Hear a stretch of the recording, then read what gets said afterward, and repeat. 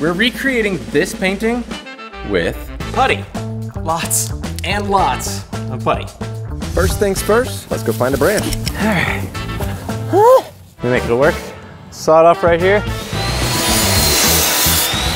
Any clock on that bad boy, that should do. All right, I think we're all set up. Now it's time for the clocks. Three, two, one.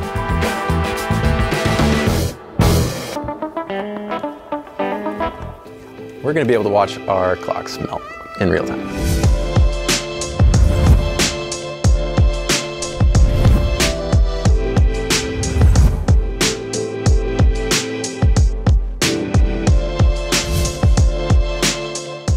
Buy Crazy Aaron's Thinking Putty at Vat19.com.